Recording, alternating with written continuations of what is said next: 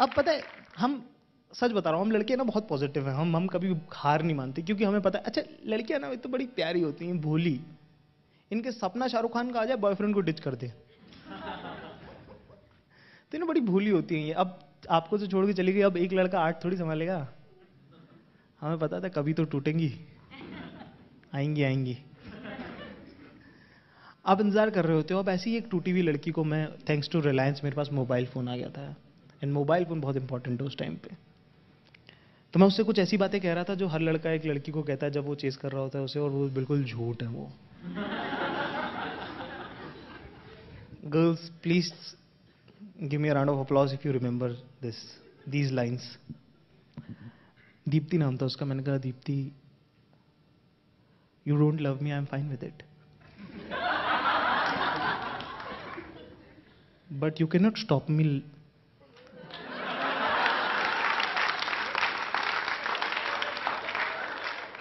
अभी और है। यू you नो know, पता है मैं क्या सोचता हूँ? कि एक दिन एक रात को हम एक साथ कमरे में बैठे होंगे। और तुम मेरे सामने बैठी होगी और मैं तुम्हें रात भर देखूँगा। मैं कहा जी हाँ इसी लड़की यही लड़की पट जाए ना बेचारी आधे टाइम यही बोल रही होती छोड़ो ना कोई आ जाएगा। अब मैं ऐसे फ़ोन पे बात कर रहा हूँ कि तुम कभी भी मेरे पास आ सकती है I always be there for you ये बोला नहीं, पीछे से मेरे पापा आ गए, उन्होंने मेरा फ़ोन छीन लिया। मुझे लगा थप्पड़ पड़ेगा। उन्होंने कहा, यार, इज़्ज़त से तो कर। मैंने कहा अच्छा पापा। एक्चुअली पापा ने मुझे डांटा नहीं उस दिन, क्योंकि दिक्कत ये थी कि पंद्रह दिन पहले उनका मोबाइल बज रहा था, और वो सो रहे थे, और मोबाइल फ़ोन उठाने का एक क्रेज होता है, यार, अब लैंडलाइन तो था, हमारे टाइम पे मोबाइल आया था। पापा के पास होता था, अपने पास नहीं होता था। तो मैंने उनका फ़ोन उठा लिया भाग के।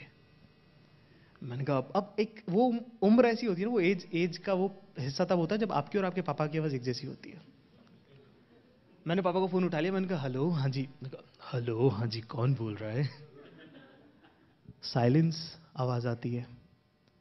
तो क्या अब नाम भी बताना पड़ेगा? उस दिन से मेरा और पापा का ना एक ब्रोकोट सा हो गया था। कि बेटा देख, तू मेरी वाली के बारे में कुछ मत बोली मैं तेरे वाली के बारे में कुछ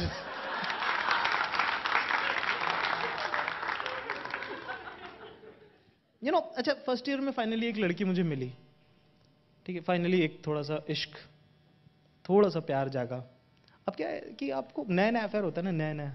गजब सा है दिन। पहला नशा जैसा सब कुछ एकदम पिंक हो जाता है दुनिया में।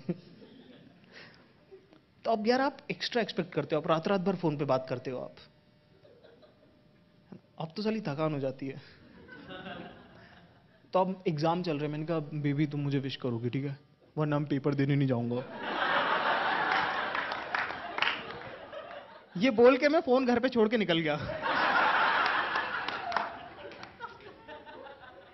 मैं, बेबी तो बेचारी सीरियस ही थी।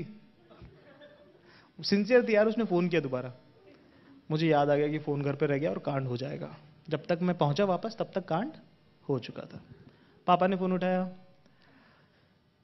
This is to all the girls please wait अगले की आवाज़ तो सुन लो कम से कम। उन्होंने कहना शुरू कर दिया। हेलो जानू all the best love you bye best of luck I love you too मेरे पापा बोले, बेटा, जानू नहीं, जानू का बाप बोल रहा हूँ। यू नो ऐसे ही फ़ोन का एक बार और था मैं मैं मैं जब दिल्ली गया तो वहाँ पे मुझे एक नंबर अलॉट हो गया। ये नंबर ऐसे किसी बंदे का था जो पहले से मतलब पहले कोई यूज़ कर रहा था। ऐसे नंबर अलॉट हो गया मुझे। जो नंबर मिला वो किसी और, कोई और यूज़ कर रहा था। बंद था उसका नंबर छह आठ महीने से। पहला दिन नौकरी का, थका हुआ हूँ मैं, सो गया। नौ बजे सो गया मैं मेरी ज़िंदगी में पहली बार। तीन बजे ये फ़ोन बजता है। मेरा नंबर नहीं, किसी और का नंबर है। पहला दिन है मेरे पास, ये फ़ोन बजता है और मैं उठाता हूँ। ये किसी बहुत ही सेक्सी बंदे का नंबर था। ऐसी सब यू नो मिल ही जाता है। तो मैंने फ़ोन उठा लिया। उधर से वहाँ हेलो, क्या कर रहे हो? मैंने कहा, सो रहा हूँ, क्यों? तो तुम क्या कर रही हो? तो कहती है, पति बगल में सोया है। I am not exaggerating this is a true story मैंने कहा तो अच्छा। कहता है इतने दिन से नंबर क्यों बनता तुम्हारा? पति बगल में सोया सुन के मेरी फट गई मैंने काट दिया फ़ोन। डर के आगे जीत भी मैं डर गया सीरियसली। पराया शहर में डर गया सच कह रहा हूँ मैं डर गया आई एक्सेप्ट में डर गया। सुबह मुझे लगा कि अरे ऐसे कैसे है?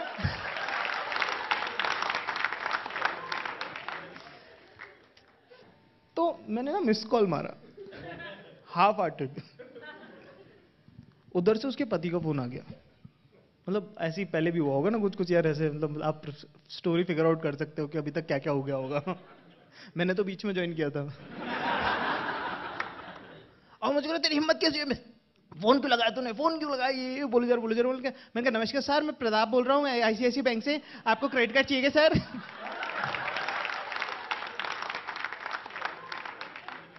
यू नो स्टीरियोटाइप हम लोगों के दिमाग में होता है। हम लोगों के दिमाग में भसा हुआ है स्टीरियोटाइप सब कुछ हम स्टीरियोटाइप के हिसाब से करना चाहते हैं। ऐसी एक स्टीरियोटाइप है हमारा गोरे लोगों को देख के भी होता है। हमारे देश के 99 परसेंट लोगों को लगता है कि सारे गोरे अमेरिका से आते हैं। Irrespective to any country any language सब अमेरिकन है। अब क्या ये दिल्ली दिल्ली, बेंगलोर, बंबई, आप लोगों के शहर बहुत बड़े यहाँ पे बहुत फ्रीक्वेंटली फॉरेनर्स आते हैं। तो आप लोगों को बहुत यूज़ टू आप लगे या यार, रिचर्ड गेयर ना। हमारे लिए बहुत बड़ी बात है। हम स्मॉल टाउनर्स हैं, हम सबसे पहले पहुँच जाते हैं। विच कंट्री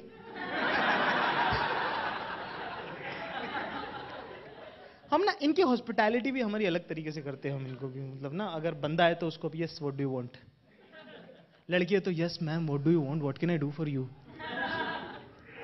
आप किसी आदमी से पूछो कि, यार, कैसा लगा तुमको इंडिया तो वो कहेगा कि, यार it was so so okay किसी लड़की से पूछो तो कहेगी hospitality lovely people any Punjabi in the house please give me chair ये है ना बैंगलोर की खास बात। पंजाबी तक सेटल कर दिए तुमने।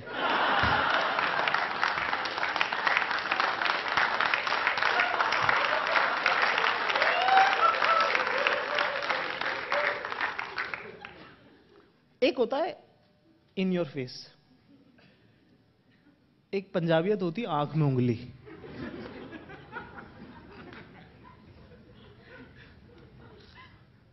राखी सावंत भी इनको ऐसा लगता है ज़ोर से तो बोल बेटा। ये ना तो अच्छा ये ना कुछ ए, ए, कोई कोई भी कम्युनिटी मतलब ना अपने बारे में गाने नहीं बनाती। सिवाय पंजाबियों के। राजस्थान का गाना क्या? पधारो हमारा देश। आओ। ठीक है बंगालियों का गाना क्या? एक लो चालो रे।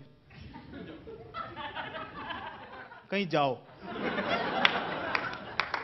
पंजाबियों का गाना क्या है यूँ तो दुनिया में लोग बतेरे थे पंजाबी की शान वखरी मतलब दुनिया में लोग बहुत सारे जी हमारी बात ही अलग है गाने ऐसे ऐसे बनाते हैं यार पंजाबियों दी टू क्यों हमारी क्या डिलीट कर दी किसी ने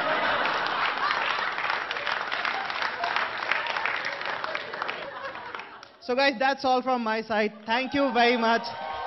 You have been a lovely audience.